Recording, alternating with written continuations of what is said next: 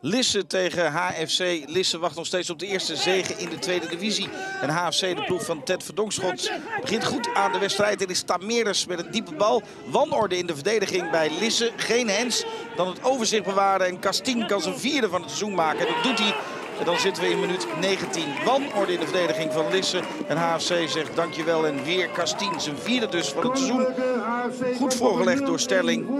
En Kastien maakt het beheerst af. En Storm, de doelman, kansloos. Opnieuw HFC dat heel goed kan voetballen in de omschakeling. Want HFC is er snel uit. Dit is geen buitenspel. Komt daar de 2-0 aan. Ja, Sterling. Fout van eh, de doelman Storm. En na 27 minuten spelen staat het dus 2-0 in Lisse voor HFC. En dit ziet er een beetje knullig uit. En de ploeg van Verdonkschot heeft dus weinig tot geen problemen met Lisse. Dan in de tweede helft, Tameres. Hij dus de puntspeler in de ploeg van Verdonkschot. En de tweede van Sterling. Ja, zo simpel kan het zijn. Als je niet verdedigt, dan krijg je veel doelpunten tegen. En dat overkomt dus ook Lisse in deze wedstrijd.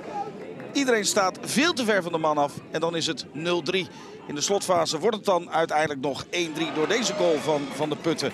Koninklijke HFC wint voor de derde maal in de tweede divisie. En Lisse nog steeds met lege handen. Tenminste, nog niet gewonnen in de tweede divisie.